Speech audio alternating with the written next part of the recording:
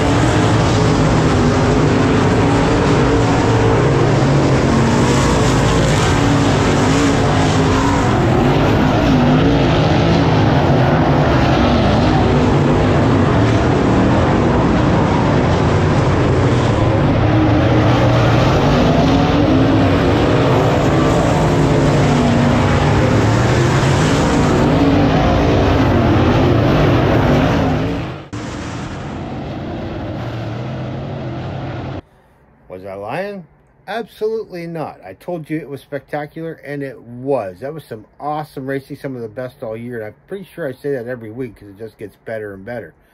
But the sad thing is, racing has come to an end for the 2024 season. Already looking forward to 2025. I want to thank you all for watching these videos. Uh, y'all seem to like these racing videos, and I appreciate that very much. All of the new people that I've met at the track, people come up and say hi. I appreciate that a lot. And you all subscribing to our channel helps us grow. So thank you all. We'll see you all in the next one.